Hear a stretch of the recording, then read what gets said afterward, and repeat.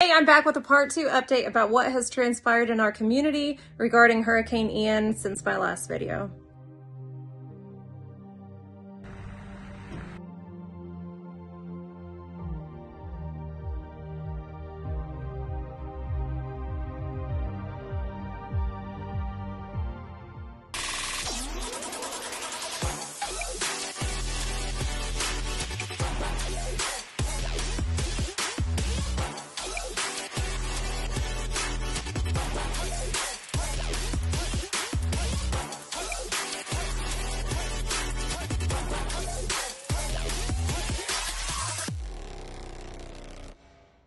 Been really amazing to see how um, everybody has come together in the community and helped each other out. Neighbors assisting each other with yard cleanups, um, neighbors offering warm meals to those without power. It's just been really incredible. Here's a few more examples.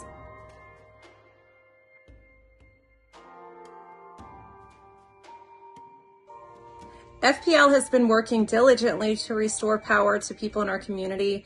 Um, there are still people without power, but I know that they are working really hard and I'm seeing updates on Facebook throughout the community frequently where power is being restored.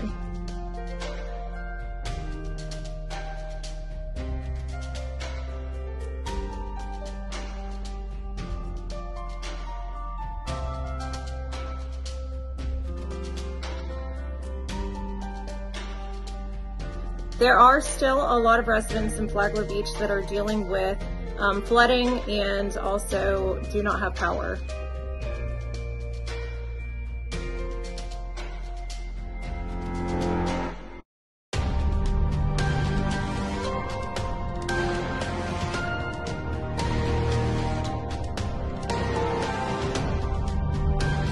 This is Palm Drive and Lambert Avenue as of Saturday afternoon.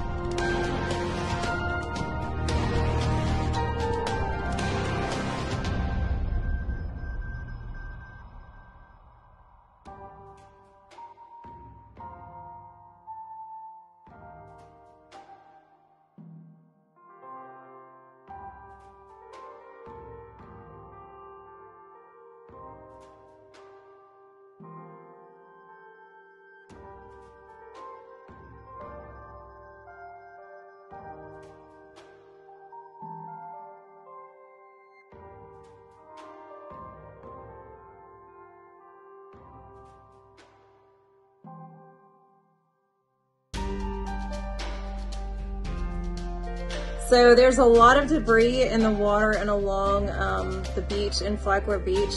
Um, however, it was not enough of a deterrent to stop the surfers who were out there today in an abundance um, trying to catch a good wave.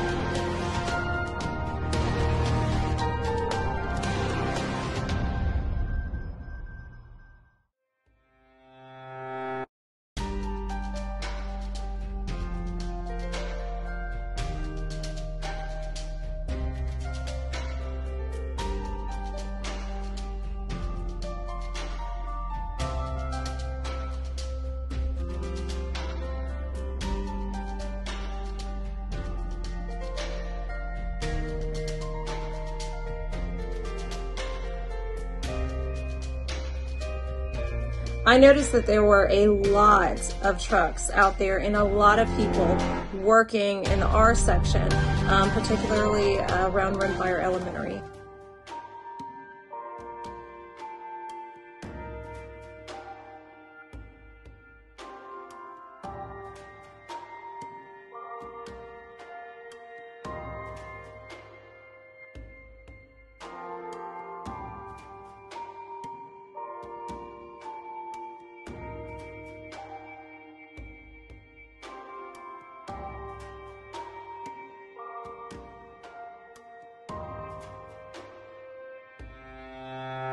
Thanks for watching, and until next time, I'll see ya. Bye.